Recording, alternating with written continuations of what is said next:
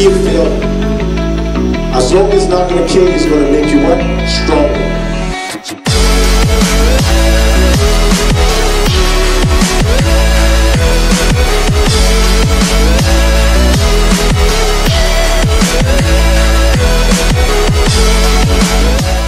We are going to focus on the establishing strategic partnerships as a startup. So there is a, a belief that uh, you have to scale up as a startup after so many years. You have to suffer, you have to starve. Like, is it really a must? Or there is a way, there is a soft way somebody can learn. And then you, uh, you, know, eh, you establish that package. And then when you really, you know, practice that in just one year or whatever time, you know, length, you really, uh, you are on the top. You have partners. You have, you know, uh, uh, you've got uh, clients. Like you're really booming in just one year or even less, or even, you know, around there.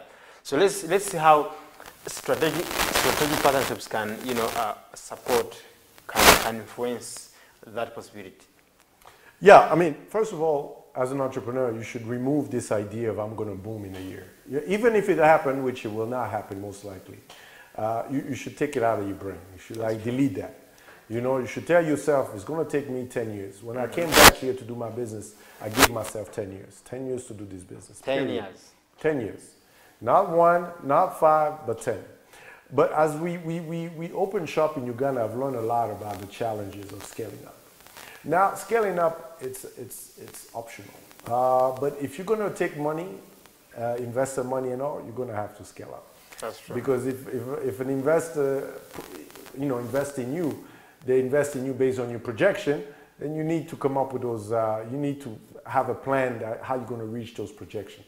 We know all that in Rwanda is a small market, so most companies have to expand outside. So now, Henri, let's now be practical a little bit.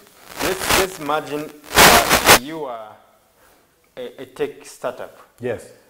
Into technology, and you are based in Rwanda, and you are 20 years. Maybe you are a university student or Yeah. graduate.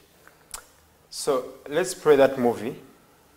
How can you, uh, you know, wake up in the morning, you know, and hustle, go to RDB, register. Uh, you know, how can you just in two minutes tell me how can you hustle and then you really I'll tell you in, in less than that. Uh, right? I'm young. Put RDB on the back 1st I have an idea. Number one thing you need to do is find out if somebody else has that idea. That's the first thing you need to do. So you need to spend time online. I will give myself 30 days or 60 days, check online if this idea already exists. Okay?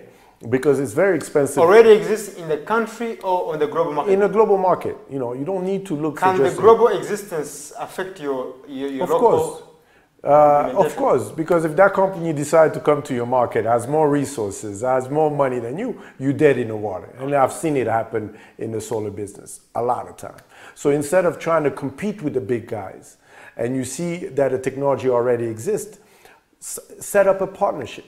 Because companies, whether they come from outside in or from here trying to expand, they always prefer working with a local partner than trying to set up shop and build the whole infrastructure. That's. So that's the first thing because there's so much innovation now in the market.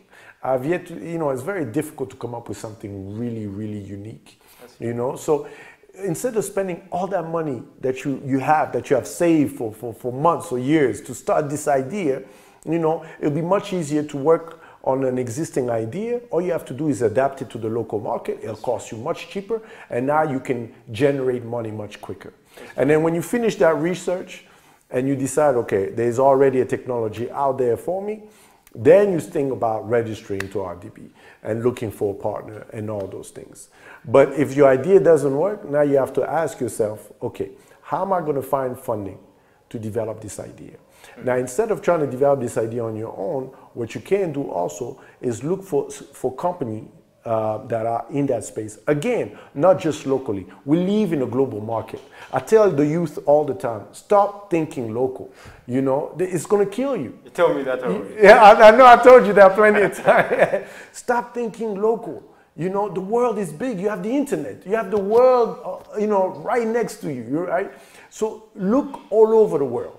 You know, there's always somebody out there that want to expand their market. Always. There's always a company that would love to be in a new market. That's they just need that, that, that partner or that guy that know the local uh, ecosystem, that understand how things move here, and they're willing to partner. Now, your negotiation skills has to be there also. That's true. And then the last thing is, as, as we just spoke about, I'll look for a partner. Uh,